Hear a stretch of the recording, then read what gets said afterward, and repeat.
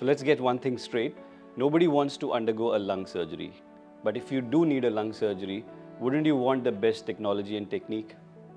Hi, my name is Dr. Kamran Ali and I'm a principal consultant in thoracic surgery and lung transplantation at Max Super Specialty Hospital, Saket, New Delhi.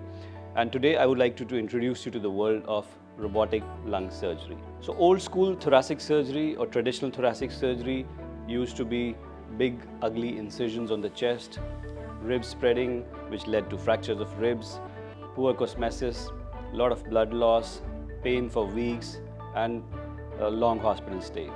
Enters robotic lung surgery and now the incisions are very tiny and very strategically placed with excellent cosmesis.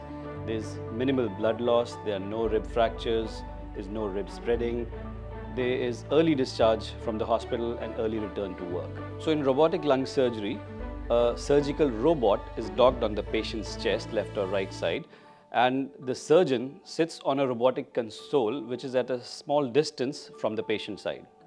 A camera and a specialized robotic arms are placed inside the patient's chest and very complex maneuvers are performed very skillfully with minimal tremors and excellent outcomes. So what all surgeries can be done through the robot in the chest? So we can do robotic lung surgeries like removing part of the lobe called lobectomy, removing the entire lung called pneumonectomy, or removing a very small segment of the lung called segmentectomy. We can do robotic esophageal surgeries, which means surgeries on the food pipe, which may include cancers or benign esophageal disorders. So if lung surgery is ever on the table, make sure robotics is in the conversation.